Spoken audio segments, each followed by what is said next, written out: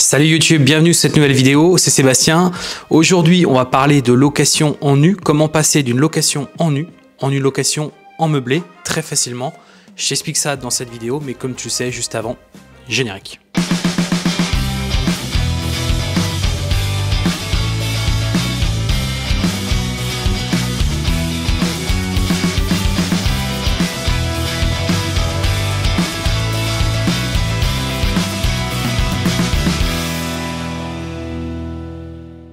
Alors avant de commencer cette vidéo, je vais t'inviter tout d'abord à liker celle-ci, laisser un gros pouce bleu et puis je vais t'inviter aussi eh bien, à t'abonner à cette chaîne. Tu vas découvrir un petit bouton s'abonner. Abonne-toi dès maintenant, comme ça tu seras notifié les prochaines fois que je vais te livrer des vidéos sur cette chaîne YouTube. Une chaîne YouTube où on parle justement d'immobilier, d'investissement locatif, de location courte durée, de sous-location, mais également aussi de conciergerie Airbnb. Si c'est des sujets qui t'intéressent, je t'invite à mon prochain webinaire que je vais tenir dans les prochains jours. Tu découvriras un petit lien d'inscription totalement gratuit. Je serai en live.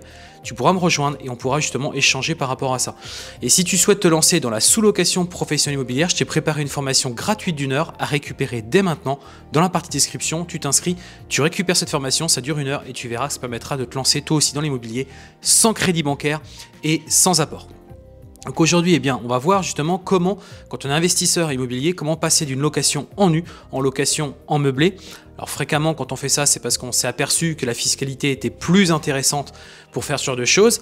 Mais peut-être que le souci que tu as toi aujourd'hui, si tu es investisseur immobilier, ou peut-être que tu rachètes un immeuble, ou peut-être des appartements qui sont déjà exploités en location en nu, tu as déjà un locataire dedans. Comment passer d'une location en nu en location en meublé alors que tu as déjà un locataire qui est déjà présent, avec qui tu as déjà un bail?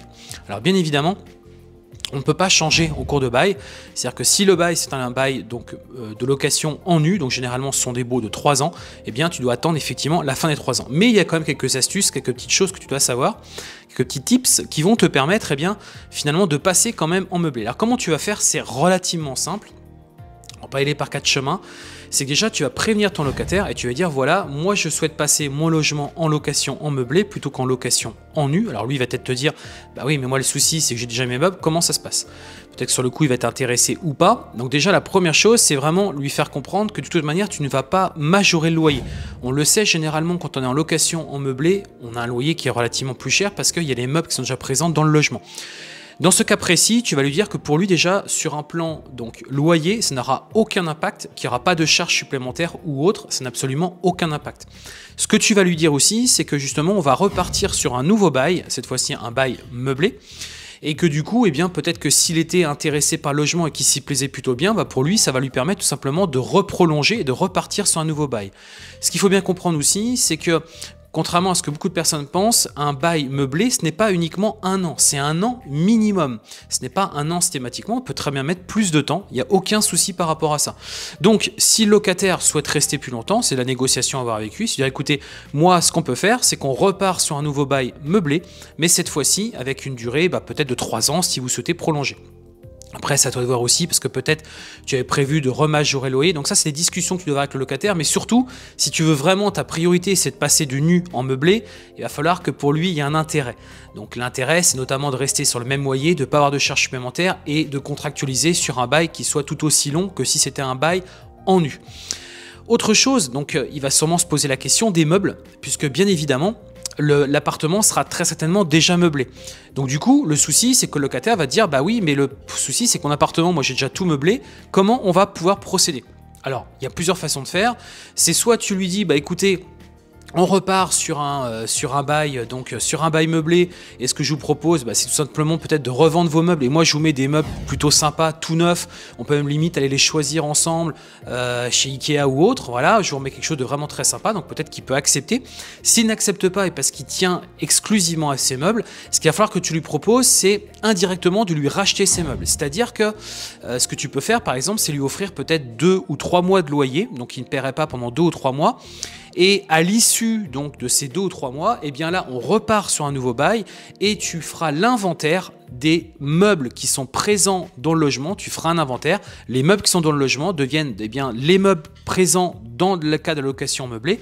Parce que le souci de ça, si tu veux, c'est que si tu avais un contrôle, si quelqu'un venait vérifier que ton appartement était bien en location meublée, il va vérifier la liste, une liste officielle qui a été établie. D'ailleurs, ce que je vais faire, c'est que je vais te la mettre à disposition, cette petite liste, dans la partie description. Si tu souhaites la récupérer, eh bien, tu pourras récupérer cette liste.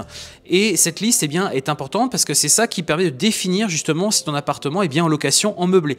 Donc en cas de contrôle, eh bien, l'inspecteur vérifiera qu'il y a bien bah, tous les éléments qui doivent être présents pour une location meublée.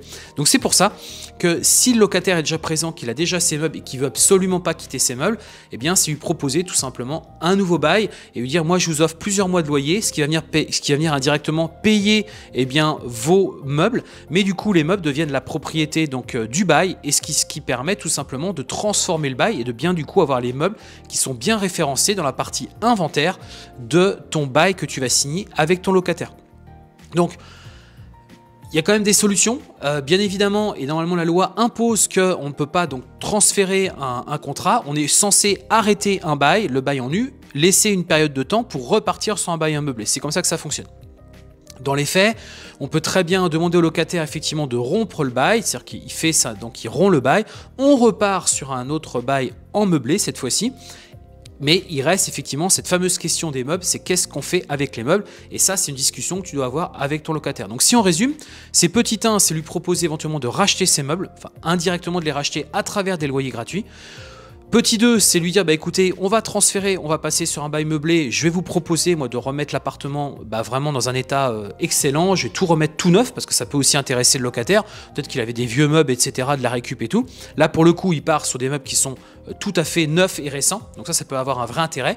Et puis se dire bah, de toute manière, rassurez-vous, le bail, le loyer ne va pas être majoré. Et pareil pour les charges, je ne vais pas majorer plus pour autant. Le fait est que moi j'ai besoin de passer sur un bail meublé tout simplement parce que j'ai. Voilà, après, il n'y a pas besoin de savoir tout ça, mais c'est parce qu'en gros, clairement, derrière, vous avez un avantage fiscal à être en meublé. Donc voilà un petit peu comment vous pouvez procéder. Si toi, tu as des commentaires par rapport à ça, si tu souhaites rajouter des précisions, bah n'hésite pas, c'est fait pour ça. Rajoute ça dans la partie commentaires, comme ça on pourra échanger, dialoguer. Et n'hésite pas aussi à partager cette vidéo. On a terminé, j'espère que cette vidéo t'a plu et a pu eh bien t'aider à toi aussi à faire ce genre d'opération. Je vais te souhaiter une excellente journée et je te dis à très bientôt. Ciao